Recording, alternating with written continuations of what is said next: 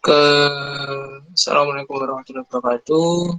Salam sejahtera buat semuanya. Kita akan melanjutkan pembahasan bahasa pemrograman uh, di modul yang keempat ya, modul yang keempat.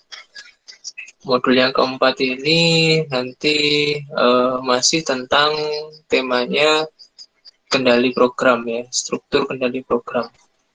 Jadi uh, kita ingat kembali dalam programming nanti ada beberapa struktur kendali program.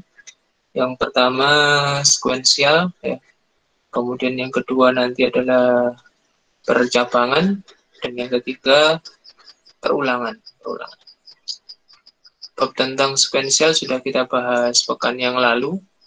Uh, kata kuncinya adalah uh, program itu berjalan secara berurutan ya dari atas ke bawah ya tidak lompat-lompat. Jadi urut dari baris ke satu baris kedua ketiga dan seterusnya sampai baris perintah terakhir. Itu sekuensial kemudian di pekan ini kita masuk ke kendali yang kedua yaitu percabangan. Ya, percabangan. Uh, kendali uh, percabangan. Kendali percabangan ini nanti uh, ada dua bagian. Ya ada dua bagian ada dua sub pembahasan. Uh, satu sub kita bahas yang ini, satu sub lagi kita sambung di pekan depan. Ya. Yang pertama adalah uh, menggunakan perintah if else. Ya. Jadi nanti kendali percabangan yang pertama di dalam bahasa Java itu kita bisa menggunakan perintah if else. Kemudian yang kedua nanti kita bisa menggunakan perintah uh, switch case. Ya. Jadi dua perintah itu yang mewakili ya mewakili uh, kendali percabangan di dalam bahasa Java. Siang hari ini kita hanya membahas bab tentang perintah if else. Ya. Baik ke di modul yang sudah saya share, saya bagikan di uh, web learning ilmu modul 4. Uh, mungkin sudah uh, kalian baca juga saya akan singgung beberapa halaman, beberapa poin di dalam modul yang sekiranya perlu untuk uh, saya review, saya berikan penjelasan. Yang pertama, saya mulai dari gambar satu ini ya. Gambar satu ini itu mengingatkan kembali tentang uh, kendali percabangan. Ya, jadi ini adalah gambar diagram alir atau biasa juga disebut dengan flowchart. Ya saya sempat lihat kemarin uh, videonya Pak Irwan di kelas logika juga sudah membahas tentang flowchart menggunakan aplikasi Raptor yang kurang lebih nanti uh, mirip dengan ini.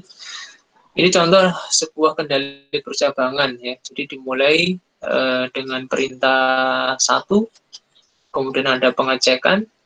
Ya, di dalam pengecekan ini ada dua kemungkinan hasilnya. Bisa benar, bisa salah. Kalau pengecekan menghasilkan jawaban yang benar, ya kondisinya benar atau true, maka perintah dua yang akan dijalankan. Kemudian program selesai. Tetapi kalau pengecekan bernilai salah, maka perintah tiga yang akan dijalankan, kemudian program selesai. Jadi ada dua jalan, ada dua skenario dalam uh, contoh flowchart ini. Ada skenario perintah satu, perintah dua, Kemudian ada skenario perintah satu, perintah tiga. Ya, perintah dua dan tiga tidak mungkin dieksekusi secara bersamaan. Jadi ini pilihan ya. Mau perintah dua atau perintah tiga, tergantung hasil pengecekannya, true atau false. Ya, ini secara umum eh, diagram alir dari sebuah kendali percabangan.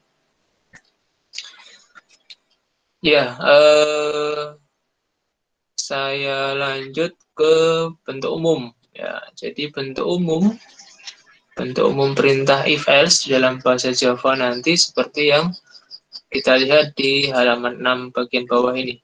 Jadi tulisan perintahnya if kondisi dalam tanda kurung kemudian kurung kurawal buka tutup ya untuk blok perintah satu perintah dua ya kemudian dilanjutkan dengan else kurung kurawal buka tutup di dalamnya ada perintah tiga perintah empat Ini bentuk umum ya, bentuk umum artinya artinya tidak harus sama persis dengan ini. Bisa jadi nanti ada eh, perubahan-perubahan ya, baik di bagian if-nya atau di bagian else-nya.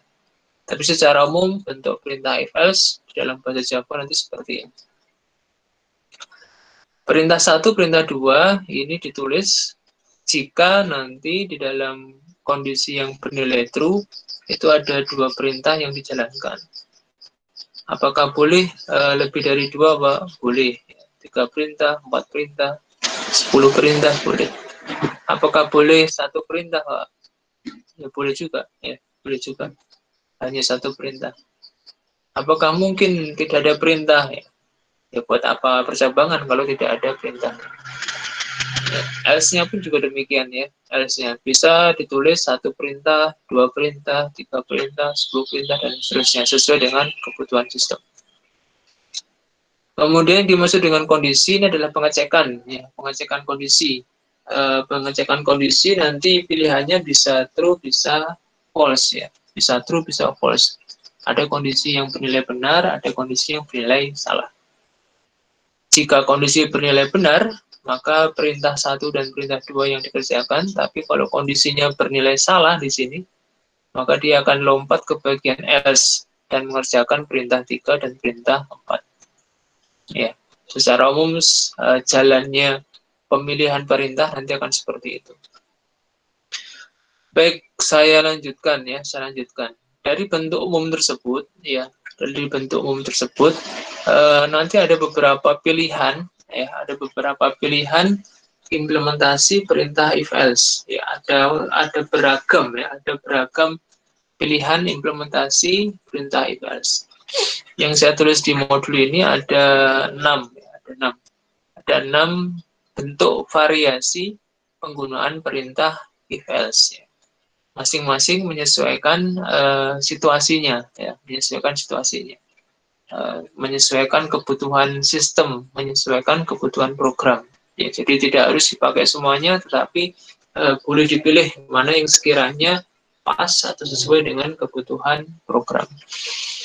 Yang pertama adalah perintah if tunggal, ya perintah if tunggal. Ini perintah percabangan if, else, ya, yang paling sederhana, ya paling sederhana.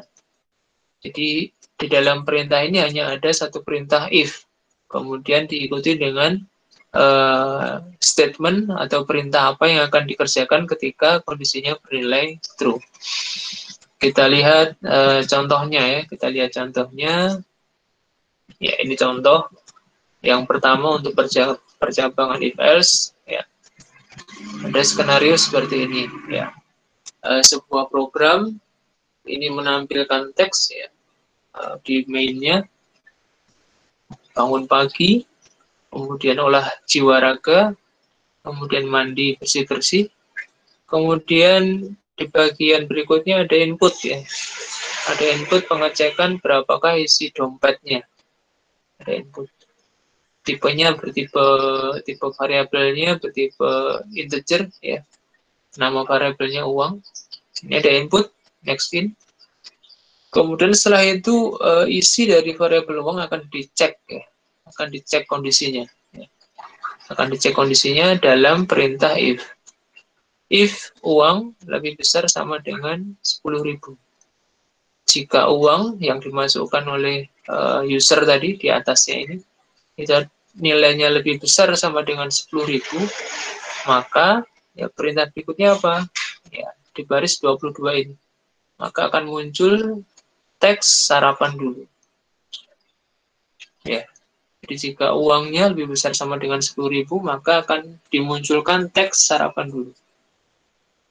Selesai ya, karena kurung kurawal tutupnya ada di sini. Ya, selesai if-nya, lanjut ke garis perintah berikutnya, sistem out print line berangkat ke kampus. Ya. Jadi ini contoh uh, if tunggal ya, if tunggal lupa kok nggak ada else-nya. Boleh ya boleh. Jadi meskipun defaultnya sebaiknya atau bentuk umumnya ada else tetapi di program diperbolehkan hanya kita tulis if-nya. Ya klausul if-nya saja else-nya nggak ada. Tapi sebaiknya yang seperti ini dihindari sebaiknya. Karena uh, kita belajar logika itu mestinya berpasangan nih antara true dengan false ya. Benar salah itu mestinya berpasangan. Kalau ada yang benar ya mestinya disiapkan juga yang false. Namun demikian tetap saja di dalam bahasa Java diperbolehkan sebuah sebuah if itu tidak memiliki else. Meskipun akhirnya agak aneh juga ya kalau uangnya kurang dari sepuluh ribu, apa yang dilakukan? Ya nggak jelas juga di sini. Tidak ada penjelasan. Kalau uangnya kurang dari sepuluh ribu, terus ngapain? Ini nggak ada penjelasan. Ya, ini ini kekurangannya akan seperti itu. Ya. Sehingga program tidak tidak begitu lengkap akhirnya. Ya. Tidak begitu lengkap. Meskipun ada if-nya. Ya. Tetapi karena nggak ada else-nya, jadi jadi menimbulkan pertanyaan else-nya ke mana ya. tidak ada penjelasan yang kita temukan di dalam source ini baik ini contoh yang pertama. Kemudian kita lanjutkan ke bentuk yang kedua. Eh, bentuk if else yang kedua. Ini yang standar ya. Bentuk if else yang standar. Jadi sebaiknya minimal kalau kita menggunakan perintah if else ya seperti ini. Ada bagian if ada bagian else-nya. Ya, ada bagian true, ada bagian yang false. Ini yang sebaiknya disarankan minimal seperti ini. Minimal. Oke. Contoh misalkan ya, di sini ada variabel uang, kita gunakan inisialisasi sebagai ganti dari input. Kemudian langsung kita cek dengan perintah if else. Jika uang lebih besar sama dengan 25.000, maka menunya nasi padang. Jika tidak, ya jika tidak, berarti uangnya kurang dari 25.000 maka ditampilkan teks menunya sego jotosan jadi ini uh, contoh yang kedua dari variasi bentuk if else yaitu if else yang uh, standar ya standar ada if-nya ada else-nya ada if dengan kondisi benar ya kalau kalau kondisinya benar, jadi uang lebih besar sama dengan 25.000. Ya, jika ini benar, maka menu nasi padang yang akan muncul, tapi jika salah di sini, misalkan uangnya hanya 10.000, maka di sini akan bernilai false. Kalau logikanya pengecekan kondisi di sini bernilai false, maka yang akan dijalankan itu adalah bagian else. Ya, lompat ke bagian else. Ya, jadi itu prinsipnya if else begitu. Kalau di bagian if-nya bernilai true, maka dia akan eksekusi perintah di bawahnya. Tapi kalau pengecekan kondisi di sini bernilai false, maka dia akan lompat ke bagian else-nya. Otomatis ya. Nah, otomatis dinegasikan. Jadi kalau di sini true, maka di sini yang false-nya. Dan sebaliknya, kalau di sini false, maka yang di sini adalah bagian true-nya. Ya. Jadi itu yang kedua, if else yang standar ya, if else yang berpasangan. Kemudian yang ketiga ya, yang ketiga Oh, sebelum yang ketiga ini penggunaan penggunaan else yang lain ini juga bagus nanti bisa diterapkan di program-program kalian. Jadi if else itu juga seringnya nanti dipakai untuk error handling ya, error handling. Error handling ketika ada input dari user yang salah ya, yang tidak sesuai yang kita inginkan itu bisa dicegat, bisa kita cegah, bisa kita kita uh, tangkap ya menggunakan uh, blok perintah if else. Ya. Contohnya di program gambar 4 ini ya. Misalnya kita akan membuat program uh, menghitung luas persegi. Ya, menghitung luas persegi. Kalau di program sekuensial ya itu tanpa pengecekan berapa nilai panjang dan lebarnya atau uh, sisinya misalnya dalam program persegi ini langsung dihitung menggunakan rumus ya. Itu kalau di sequential seperti itu. Tapi di dalam percabangan kita bisa tambahkan uh, blok perintah if else untuk mengecek uh, datanya yang dimasukkan dulu. Ya, positif ataukah negatif ya, misalnya seperti itu. Ya, di sini ditambahkan if sisi lebih besar dari nol, artinya disyaratkan untuk bisa dihitung dalam persamaan dalam formula itu sisinya harus positif dulu. Yaitu sisi lebih besar dari nol. Positif ya. Misalnya ya 2, 3, 10, 1000 ya. Jika itu terpenuhi baru dihitung luasnya. Kemudian ditampilkan hasilnya berapa. Tapi jika syarat sisi lebih besar dari nol ini tidak terpenuhi, artinya bernilai false ya, maka dia akan lompat ke bagian else, yaitu muncul pesan error ya karena nilai sisinya adalah negatif. Misalkan di program kita coba memasukkan sisi minus 8, maka nanti muncul pesan kesalahan error sisi negatif. Ya, ini namanya error handling ya, penanganan penanganan error handling ketika uh, user memasukkan sebuah nilai. Bisa kita cegat ya dengan menggunakan perintah if else. Baik itu contoh yang berikutnya tentang penggunaan if else ya. Kemudian contoh lagi variasi programnya ini menggunakan dua inputan ya dua input. Ya if else masih sama ya bentuk variasinya masih if else tapi menggunakan dua buah input ya. Contoh ini ya contoh ada program uh, surga neraka ya ini menimbang amal baik dan amal buruk. Dua-duanya input ya amal baik hasil input amal buruk juga hasil input ya dari user dari pengguna kemudian dicek ya jika amal baik lebih besar sama dengan amal buruk maka masuk surga ya namun sebaliknya, ya, jika kondisi ini false, ya, maka dia akan lompat ke bagian else, yaitu masuk neraka. Ya. Jadi uh, ini variasinya adalah menggunakan dua input, tetap bentuknya if else, kemudian pengecekan kondisinya menggunakan operasi lebih besar sama dengan lebih besar sama dengan. Baik, ini uh, contoh yang ketiga dari if ya. Kemudian Nah, ini ada sebuah tips ya, kurung kurawal nanti sebaiknya bisa kita buat secara otomatis ya. Nanti kita akan praktekkan di NetBeans. Jadi caranya cukup diketikkan kurung kurawal pembukanya, kemudian langsung di enter.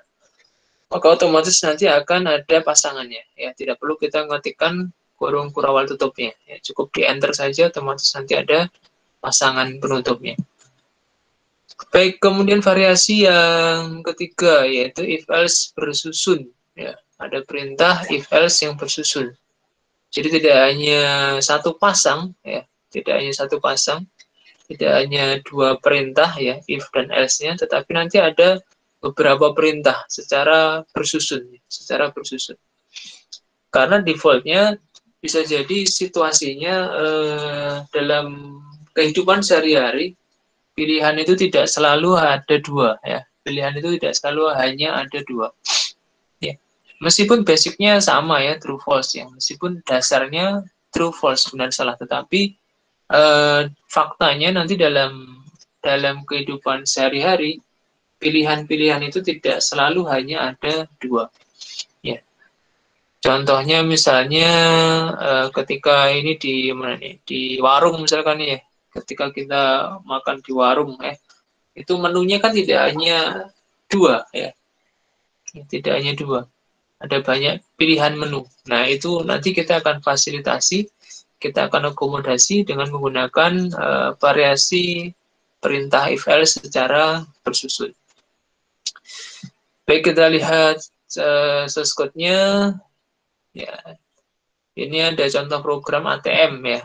ATM sebagaimana yang kita ketahui di dalam ATM itu pilihan menunya banyak ya, pilihannya banyak. Tidak hanya dua ya. Tetapi contoh ya saya ambil di sini hanya tiga ya.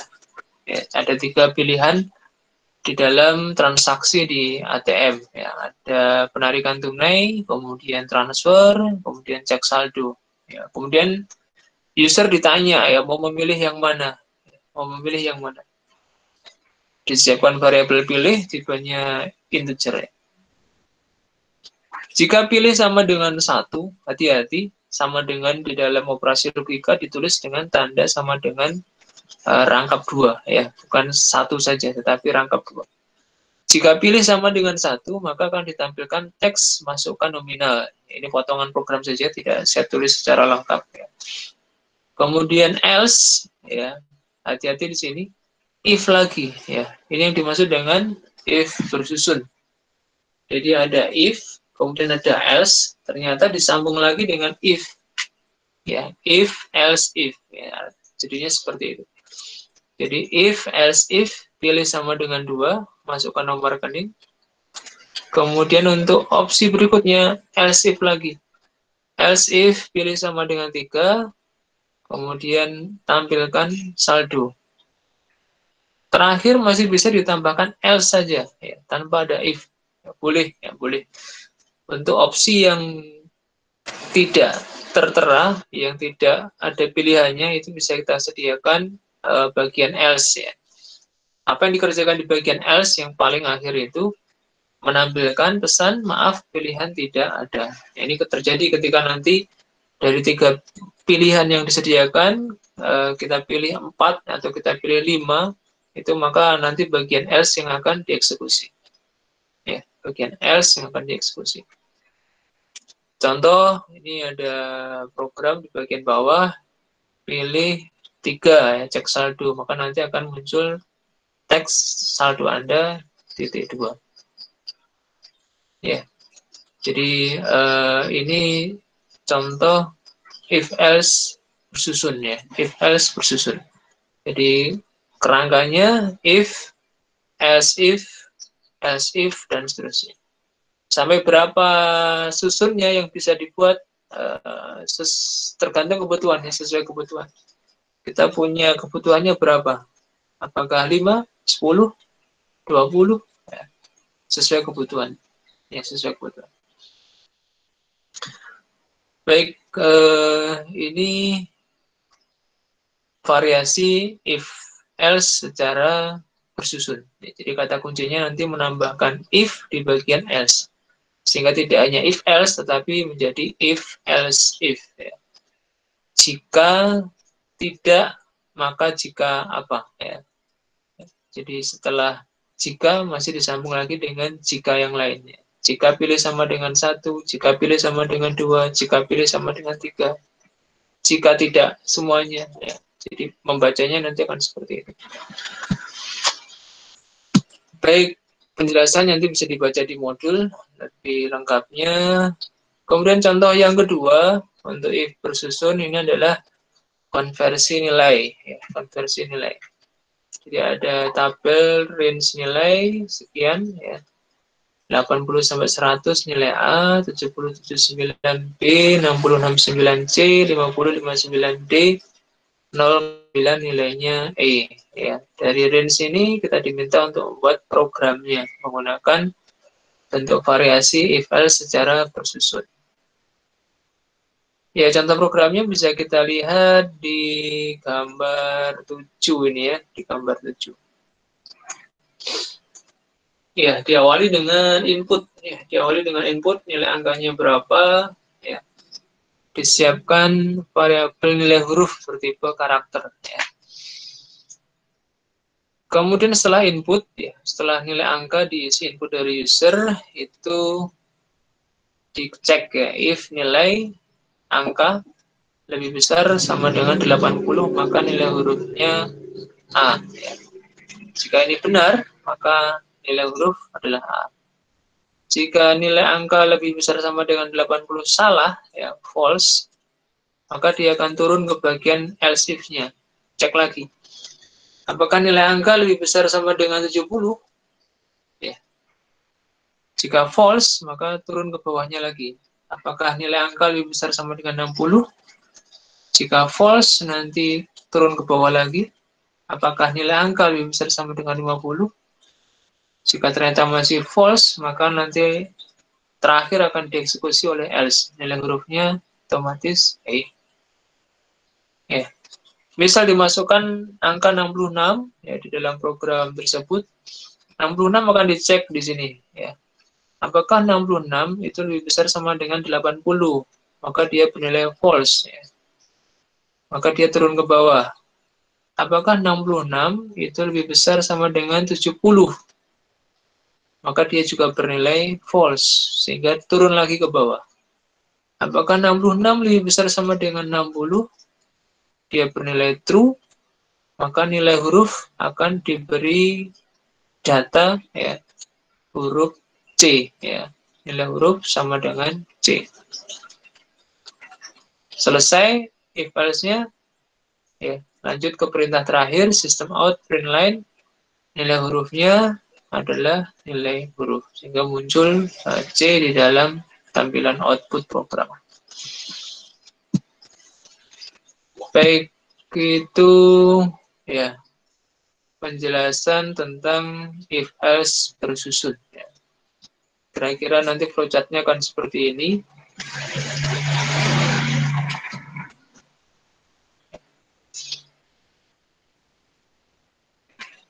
Ya, uh, kita lihat di sini setiap kali uh, selesai dari kondisi benar itu arahnya panah itu menuju ke selesai ya. Kita lihat di sini perintah dua ya karena dia benar selesai. Cek dua benar, perintah tiga selesai. Cek tiga jika benar, perintah empat selesai ya. Jika cek tiga salah terakhir maka perintah lima selesai.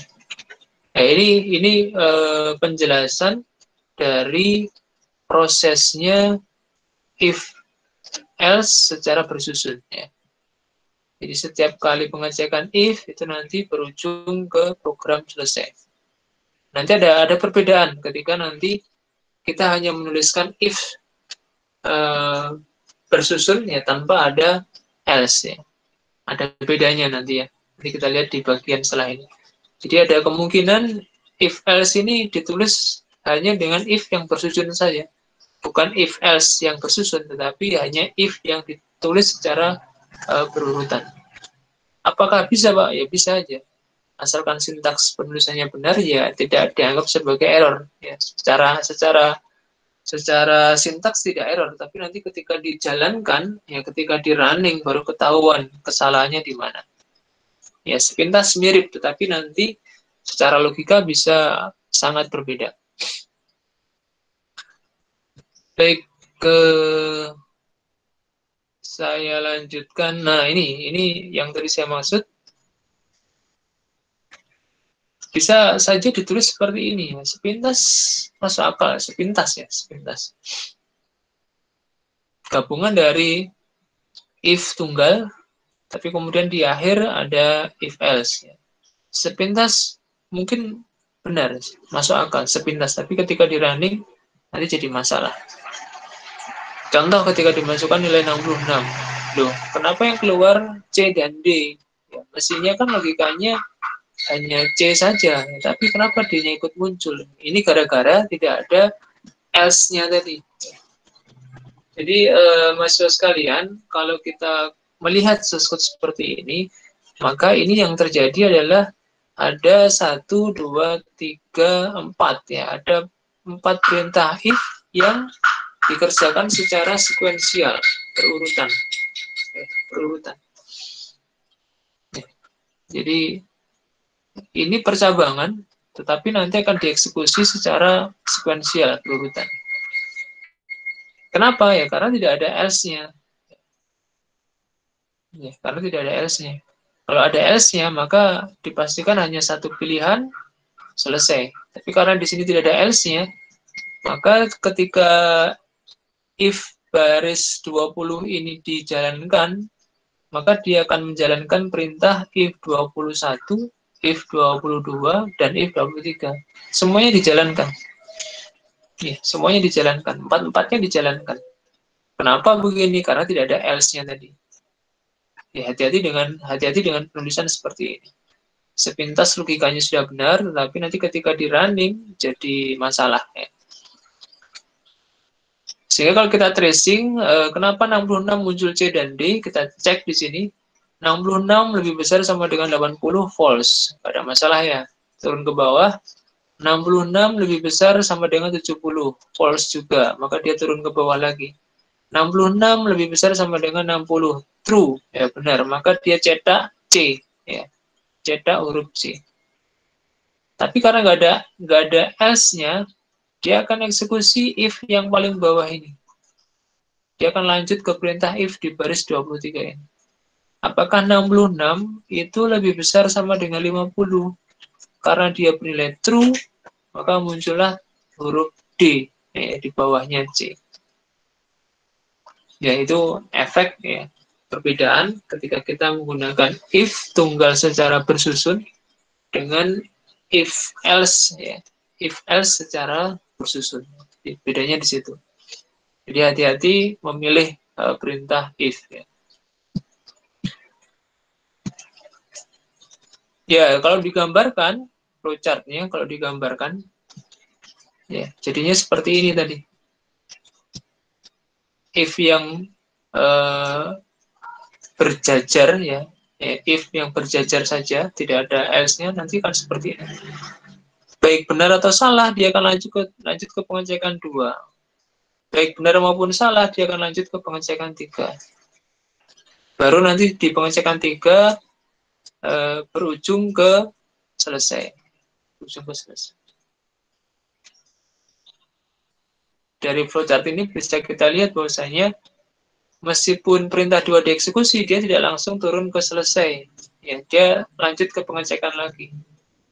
Ya, perintah tiga dieksekusi, dia tidak langsung selesai, tapi pengecekan tiga ya, dikerjakan dulu.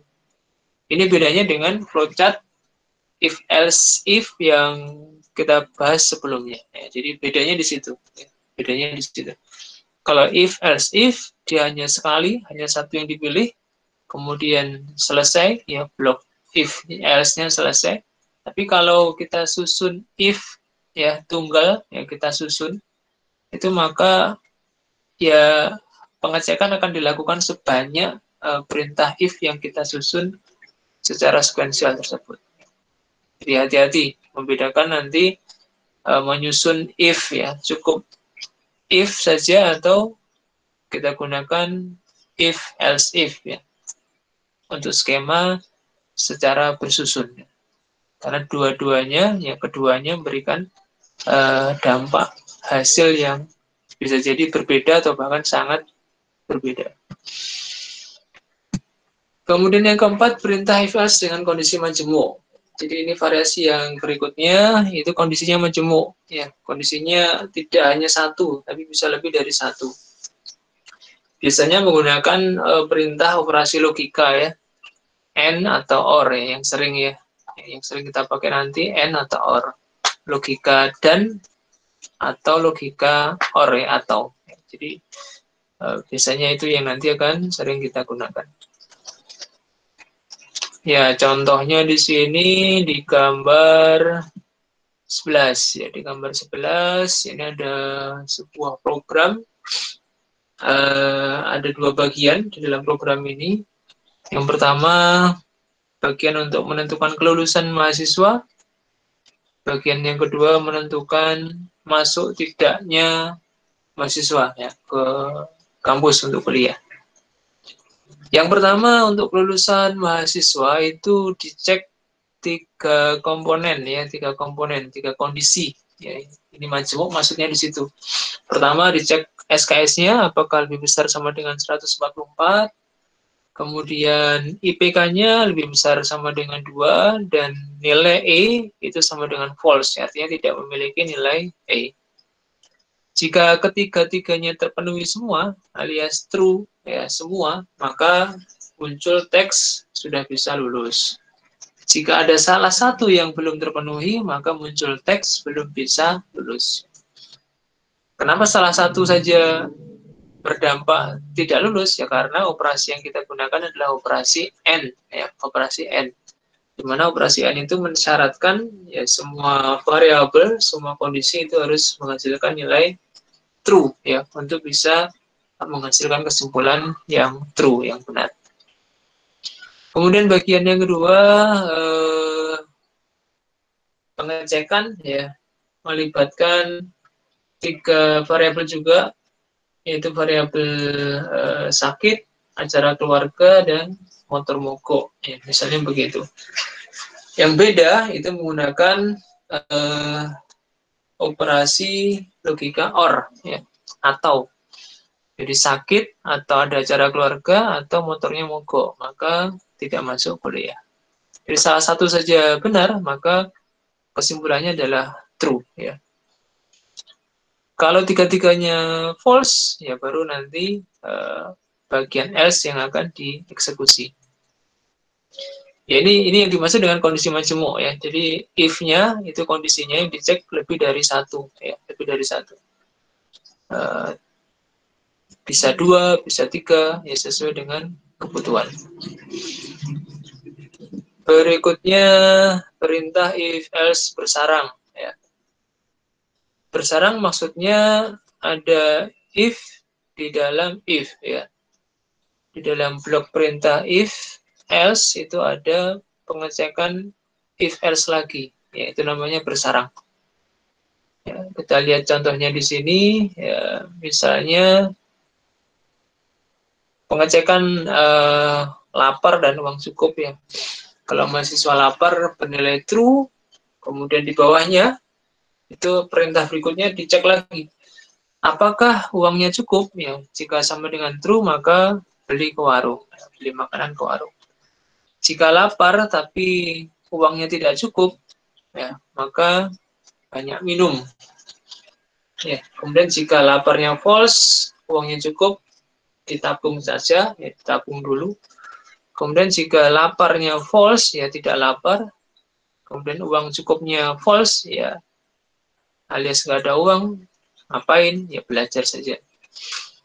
Ya, jadi eh, ini contoh if else yang dibuat secara bersarang. Ada if di dalam if. Kemudian yang terakhir kombinasional. Ya, jadi dimungkinkan nanti dalam prakteknya uh, perintah if else itu kombinasi dari variasi-variasi yang ada tadi, ya, campuran ya, gabungan. Ada yang bersarang, ada yang bersusun, ada yang kondisinya majemuk, dijadikan satu ya, jadikan satu. Ya, ini contohnya misalnya di sini ya. Jadi modifikasi dari uh, lapar dan uang cukup ya, bisa dibuat seperti yang digambar 13. Dibuat model kondisi majemuk ya. Kondisi majemuk digabungkan dengan if else secara bersusun ya. If else secara bersusun. Jika lapar sama dengan true dan uangnya cukup, ya maka beli ke warung. Else if jika if yang di atas salah, ya maka dia lari ke else if di bawahnya. Jika laparnya true, uang cukupnya false, maka banyak minum. Kemudian kalau kondisi tersebut masih juga false, bisa lari ke, bisa lompat ke else if di bawahnya lagi. Jika lapar dengan sama dengan false, uang cukup sama dengan true, ya ditabung dulu. Terakhir, jika laparnya false dan uangnya cukup false, maka ya lupakan laparnya dengan belajar saja. Ya ini bentuk kombinasi dari uh, variasi if else yang ada. Contoh yang lain ya konversi nilai. Ya nanti kita akan praktekkan ya. Konversi nilai kita akan praktekkan. Ya, ini menggunakan if else if bersusun. Kemudian kondisinya juga uh, majemuk ya majemuk. Kita akan uh, coba ini nanti dalam uh, program.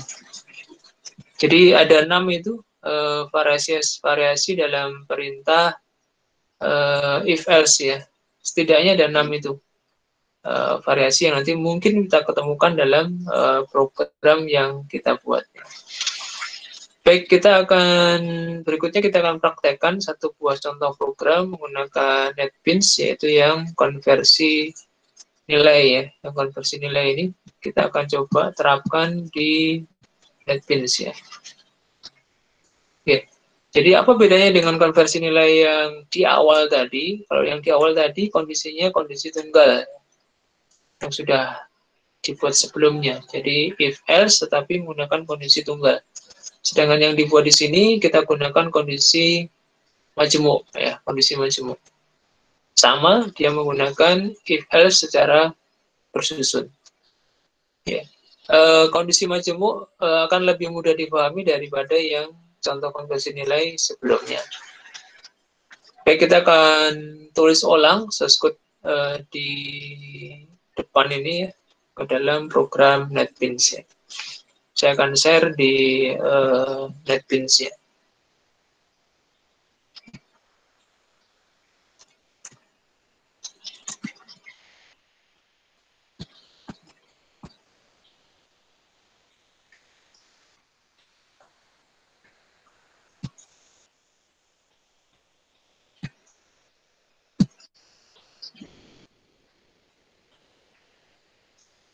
Baik, uh, ini uh, layar NetBeans yang kita akan praktekkan.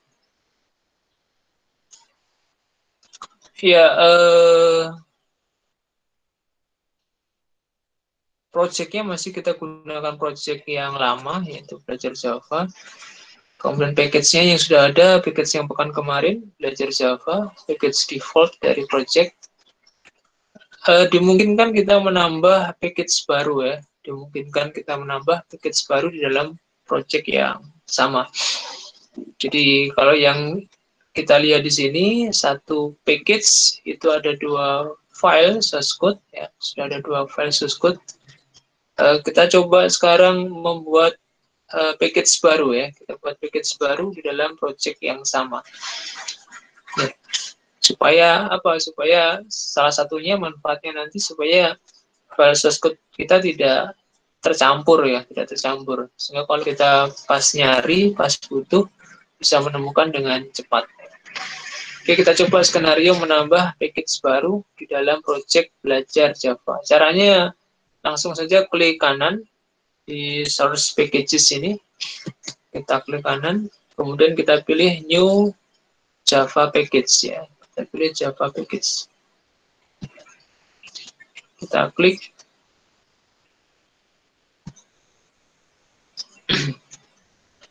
ya, nanti, nanti diminta memberi nama package-nya. Misalnya kita beri nama package percabangan ya. Karena kita akan membahas tentang percabangan. Package percabangan. Finish. Ya, muncul nanti package baru. Kalau belum ada seskutnya, warnanya akan abu-abu begini. Ya. Jadi jangan bingung, jangan kaget lupa kok warnanya nggak kuning. Ya. Karena belum ada seskut Java-nya. Ya, untuk menambahkannya kita klik kanan di package tersebut. Kemudian new uh, Java class. Kita tuliskan program kita ya tadi ya. Kita mau membuat program tentang konversi nilai. Ya, kita akan membuat program namanya konversi nilai. Kita klik finish.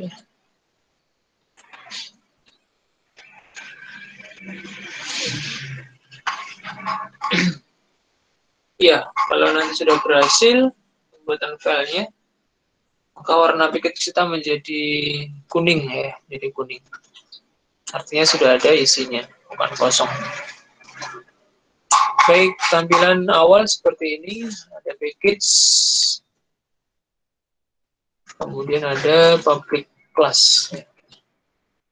Ya, jadi kalau new class itu cirinya seperti ini, tidak muncul void main. Ya. Ini kalau kelas baru ya, tanpa melalui project baru. Dia akan muncul tanpa memiliki bagian main. Caranya membuat main seperti yang kemarin kita tulis saja PSVM.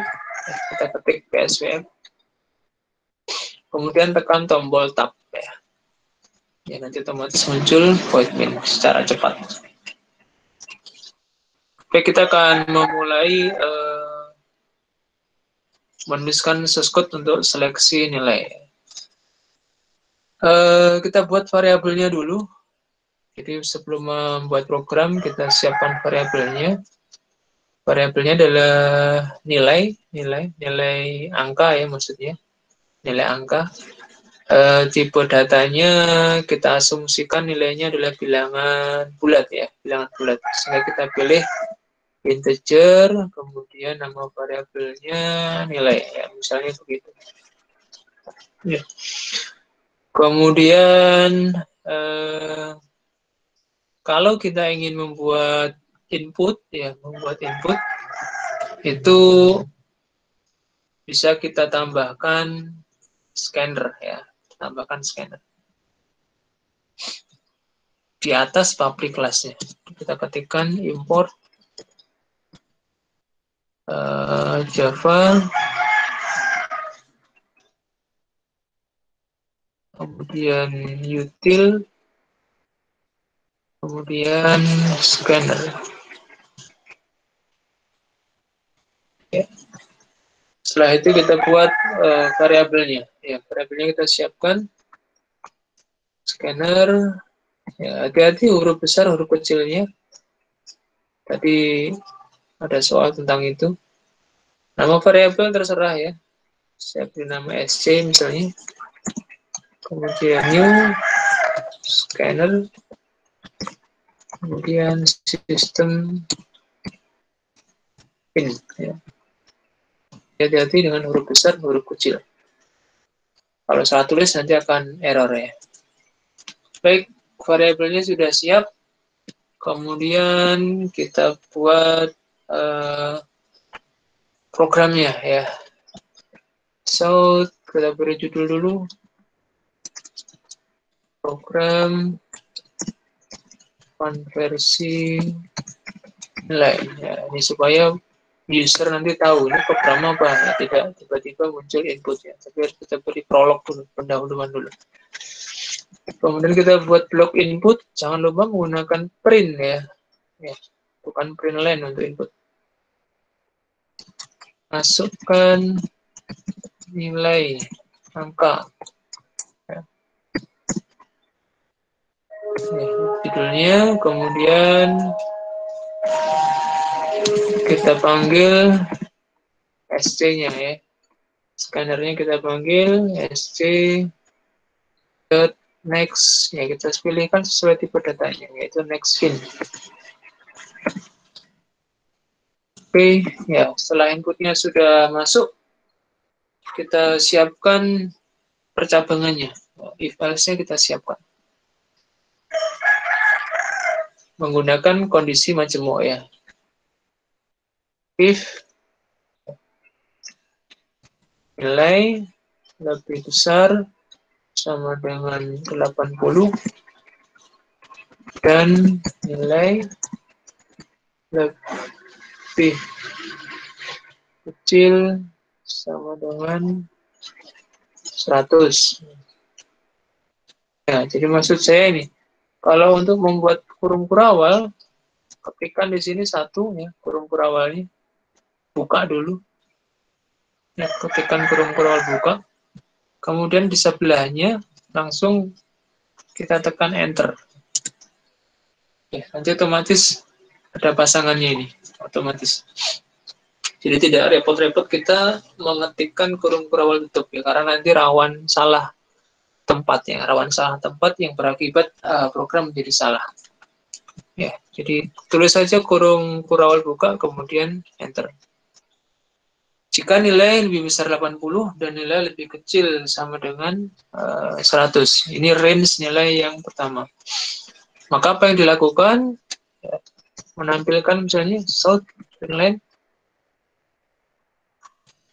nilainya ah misalkan ya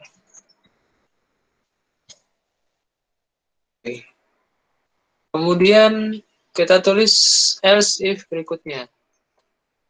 Else if berikutnya.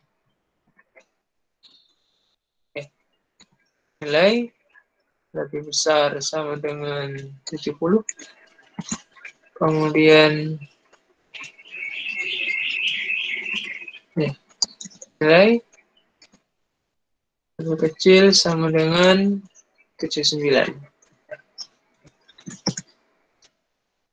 South nilainya B.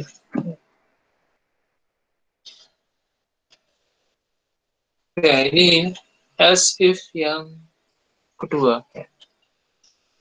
Kemudian untuk range nilai berikutnya, ya. Pak capek ngetik misalkan ya, ya copy paste saja. Blok kita Ctrl C, copy, Ctrl V paste.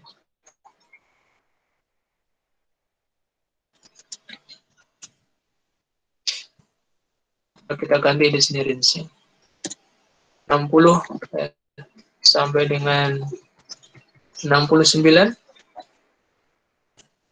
nilainya adalah C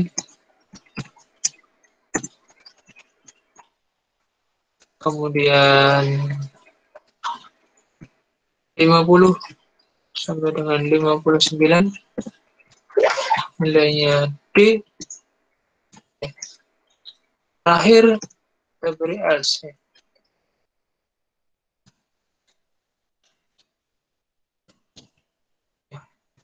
terakhir kita beri else tanpa ada if-nya karena sudah otomatis pilihan terakhir yaitu menampilkan nilainya A.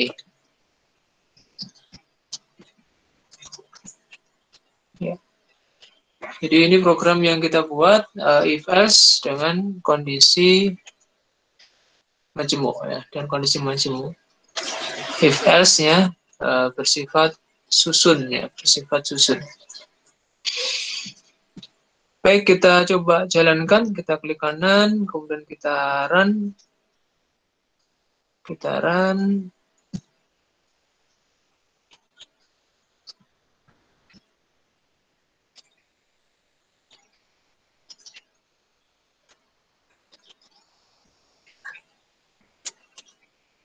Ya, program konversi nilai, masukkan nilai angka, misalnya 78, kita enter nilainya B kita run lagi kita klik tombol hijau ini.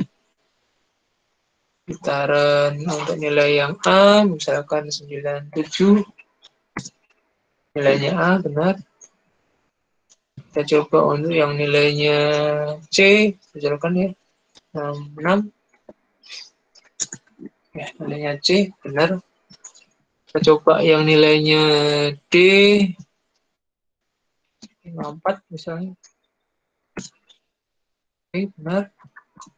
Kita coba yang nilainya E ya. Misalnya 43. Ya, nilainya E.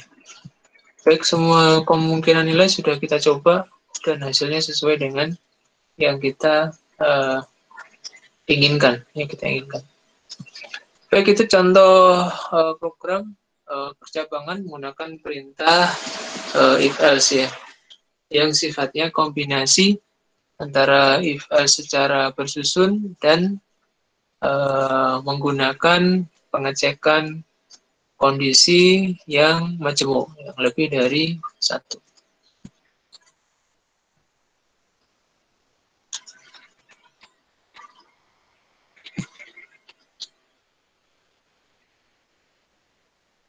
Baik, saya kira itu yang bisa saya demonstrasikan untuk pembuatan program.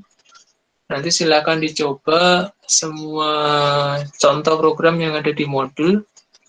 Itu banyak sekali ya contoh programnya. Silakan dicoba dari yang mudah sampai yang uh, semakin kompleks ya. Silakan dicoba uh, semuanya. Uh, saya kira itu yang bisa saya tambahkan sebagai penjelasan untuk uh, buku modul yang uh, saya bagikan di website ilmu. Uh, kurang lebihnya mohon maaf, kita nanti bisa lanjutkan ke diskusi di uh, grup WhatsApp atau mungkin di Google Meet ini. Sekian dari saya. Assalamualaikum warahmatullahi wabarakatuh. Waalaikumsalam, Pak. Waalaikumsalam warahmatullahi wabarakatuh.